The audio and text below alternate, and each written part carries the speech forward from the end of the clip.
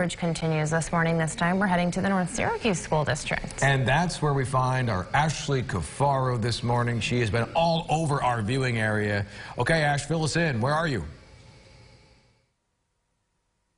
Hey, Nicole and Ryan, we are at Karl W. Saile Bear Road Elementary in North Syracuse, and we've made our way into a new classroom. This is a first grade classroom, and with me is the superintendent, Dan Bowles of North Syracuse. Thanks so much for joining me this morning. So when was construction completed here at Karl W. Saile Bear Road Elementary? A long, that's a long title, but when was it, um, when was it completed? We completed our construction this summer, and we had a wonderful open house for the community.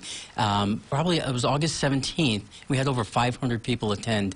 Uh, they were amazed at the transformation of all the classrooms in the in the space.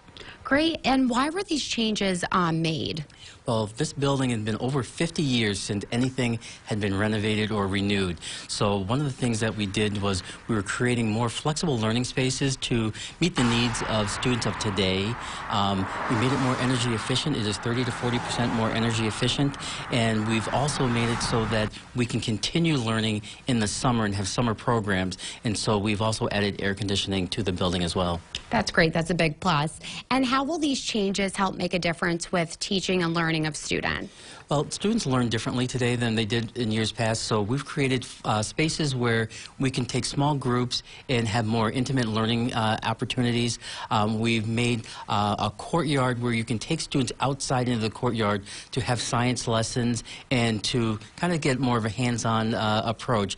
And with our summer, or with the air conditioning, um, from May to the end of the year and also in early September, the weather has gotten so much warmer and it really enhances the concentration of students when you're in a comfortable environment.